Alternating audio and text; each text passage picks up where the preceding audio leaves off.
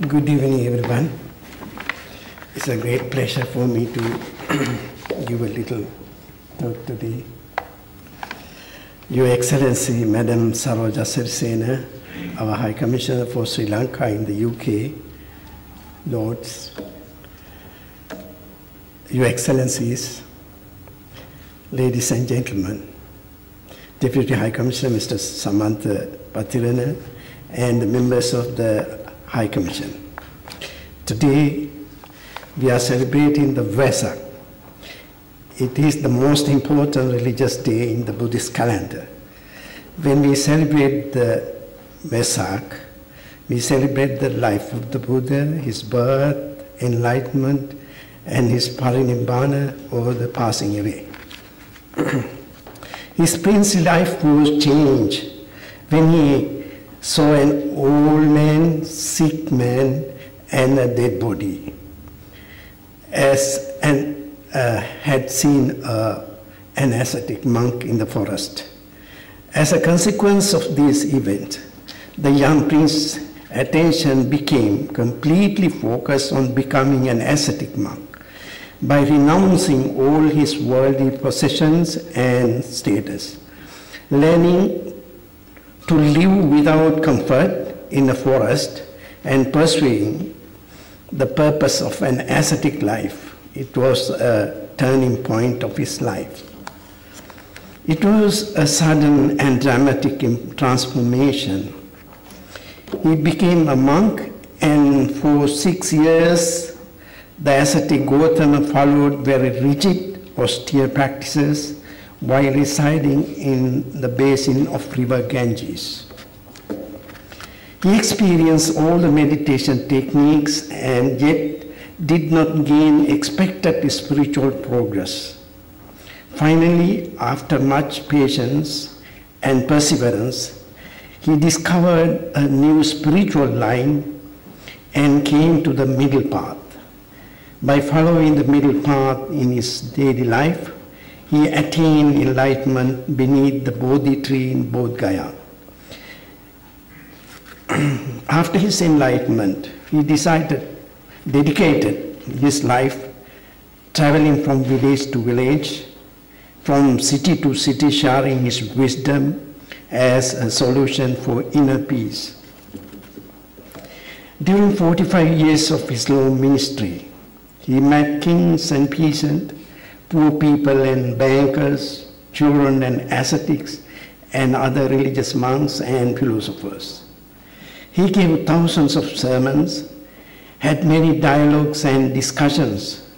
Buddha was asked thousands of questions and he answered.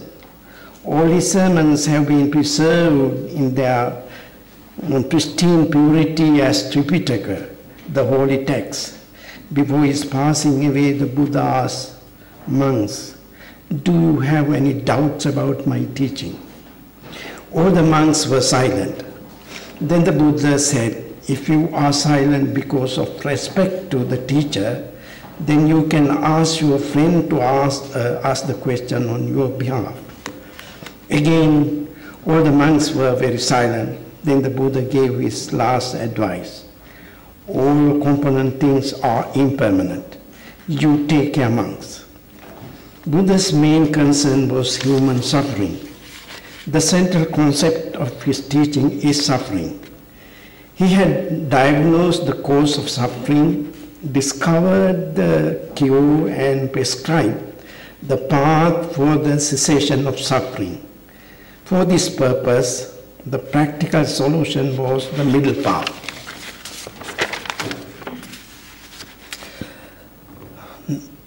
not any extremes as prescribed.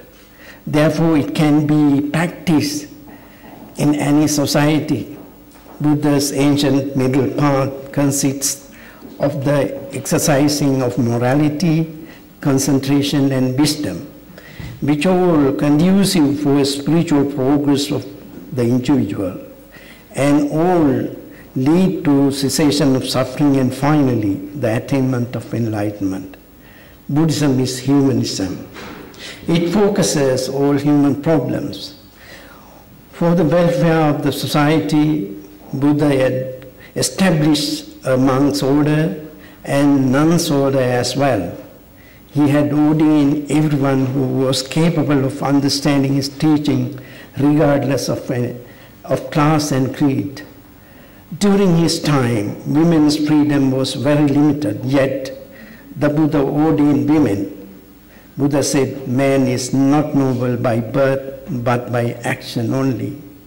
In briefly, the Buddha said, he passed his message, don't do evil, cultivate good, purify your mind. This is the admonition of the Buddha. During the time of the Buddha, and throughout history, there have been many hundreds of wars and many millions of people killed. A good nonviolent solution can be found within ourselves, the Buddha uttered. Hatred is indeed never appeased by hatred in this world. It is appeased by it is appeased only by loving kindness. This is an eternal law, Dhammapada. Although the Buddha was born more than 200, 600 years ago, and his teaching is also practiced throughout the first two millennia, his teaching is still relevant today more than before. His teaching gives us great solace, and meditation is widely practiced as a remedy for stress and depression. Today, on this holiest day in the Buddhist calendar, we estimate there are 500 million practicing Buddhists in the world. In this country, there are 3,000, 300,000 Buddhists from various backgrounds and cultures. They all celebrate the Vesak Day, the Buddha's Day. We pray, may all be well, happy, and peaceful. We pray, may the world be free from this dreadful COVID virus. And may you all be well and peaceful. Thank you very much. I wish you a very happy Pesach Day. සියලු දෙනාටම මේ ආරාධනාව කිරීම පිළිබඳ මාගේ කෘතඥතාවය පිරිනමනවා ඔබ සැමට මේ උත්තා උතුම් පොය දිනය අමතක නොවන විදියට මේ උත්සවය සංවිධානය කිරීම පිළිබඳව අපගේ ආය කොමිෂන මැඩම්ටත් ස්ටාෆ් එකේ සියලු දෙනාටමත් මගේ ස්තුතිය පළ කරමින් මෙහි ආරාධනා කිරීම පිළිබඳ මගේ කෘතඥතාවය පිරිනමනවා. ඒ සිද්ධ වේ.